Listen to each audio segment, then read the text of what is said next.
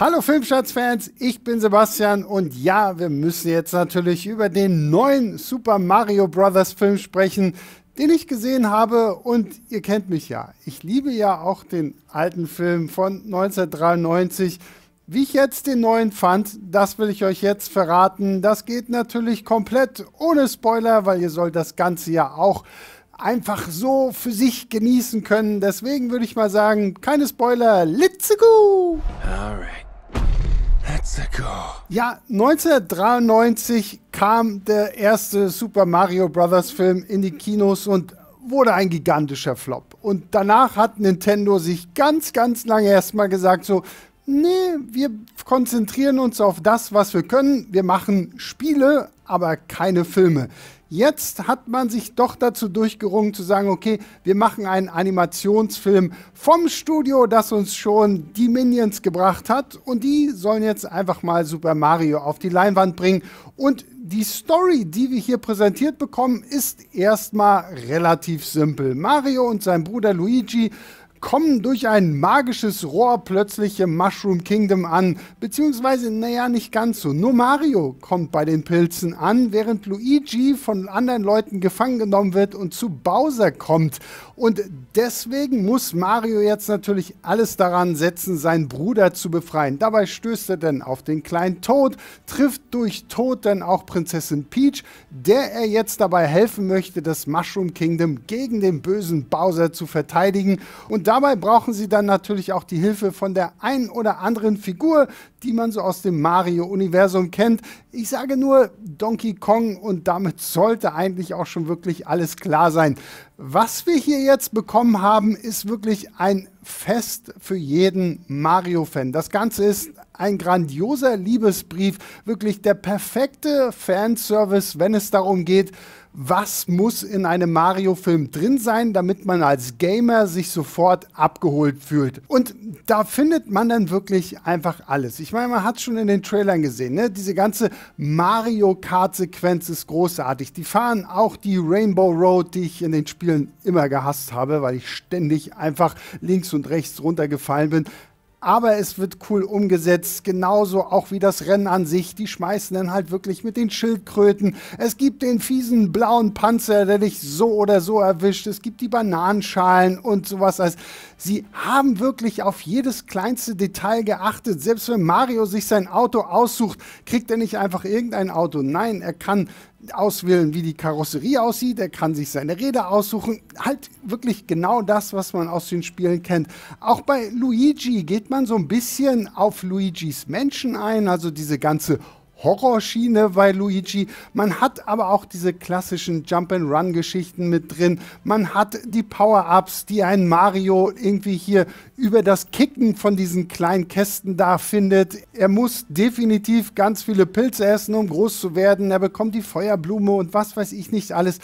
Es ist alles da. Das ist grandios. Das haben die wirklich mit sehr, sehr viel Liebe fürs Detail umgesetzt, sodass du dich gar nicht satt sehen kannst. Und ich habe garantiert längst nicht alle Easter Eggs gefunden, aber es ist einfach eine verdammt große Menge an Zeug, was man als Fan entdecken kann. Und das nicht nur mit den Augen, sondern tatsächlich auch mit den Ohren, weil der Komponist Koji Kondo ist hier auch am Soundtrack mit beteiligt gewesen. Das heißt, ihr hört auch alle Nase lang alle bekannten Theme-Songs aus den Spielen. Natürlich das klassische Super Mario-Ding, aber auch die Bowser Bowser-Melodie und die ganzen Level-Melodien und zu Donkey Kong und hast du nicht gesehen. Auch von den Geräuschen selbst her ist man sofort wieder gefangen in dieser Welt, wo man vielleicht noch mit seinem kleinen Gameboy irgendwie da saß und Super Mario gezockt hat oder all die anderen Spiele, die danach gekommen sind. Das ist wirklich grandios. Das hätte nicht besser sein können. Und hier merkt man auch wieder Super Mario als Live-Action funktioniert halt einfach auch nicht, weil es eben so eine sehr, sehr wilde Welt ist, kann es wirklich nur mit Animation gut funktionieren und das kriegen sie hier hin. Die Figuren sind sehr, sehr liebevoll gezeichnet, sehr, sehr schön animiert. Die haben ihre ganz eigenen Charakterentwicklungen, sind wirklich toll geschrieben. Wir haben halt wirklich diese Dynamik zwischen Mario und Luigi. Luigi natürlich dann irgendwie ein bisschen ängstlicher, weil er dann ja natürlich auch irgendwie alleine durch die Gegend rennt. Das ist toll gemacht was mich so ein bisschen rausgeworfen hat, und das ist jetzt aber auch so Meckern auf hohem Niveau, ist tatsächlich das Ding, dass der Super Mario Bros. Film schon vorwiegend für ein jüngeres Publikum gemacht ist. Also gerade so, was die Story angeht und den Humor angeht. Ich habe, ich weiß nicht, ich habe irgendwie die ganze Zeit so ein bisschen gehofft, es wird mehr wie The Lego Movie, was ja auch so ein bisschen zynischer manchmal war, obwohl es trotzdem auch kindgerecht gewesen ist.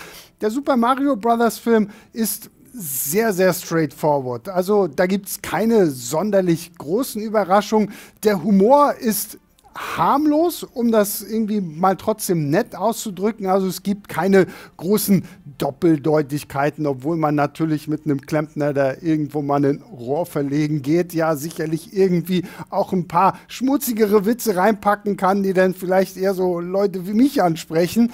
Nein, hier ist es alles wirklich sehr safe. Wir haben eine gute Mischung aus so Klamauk, ein bisschen Slapstick, natürlich auch ein bisschen Wortwitz, aber es geht nie irgendwie unter die Gürtellinie oder komplett ins Plumpsklo rein, sondern es bleibt safe. Das merkt man dann tatsächlich, finde ich, auch so ein bisschen an der Story, die sich nicht wirklich groß viel was traut. Also es ist wirklich, okay, wir kommen am Punkt A an, wir gehen zu Punkt B, wir gehen zu Punkt C und dann kommen wir irgendwann zum Ziel. Da hätte ich mir tatsächlich zwischendurch schon noch mal ein paar interessantere Konflikte innerhalb der Welten einfach gewünscht. Tatsächlich hätte ich auch gerne in der einen oder anderen Welt noch fünf Minuten länger verbracht, aber man konzentriert sich hier erstmal jetzt wirklich so auf die großen Sachen. Halt Mario, Donkey Kong und Peach und natürlich die ganze Bowser-Geschichte.